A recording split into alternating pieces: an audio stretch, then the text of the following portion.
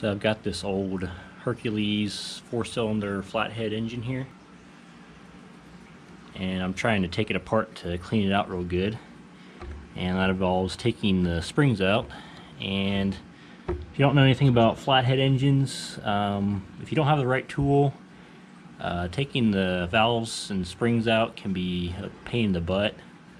So I decided instead of going out and spending 20 bucks on a tool, why not just use a cheap clamp from Home Depot and make my own.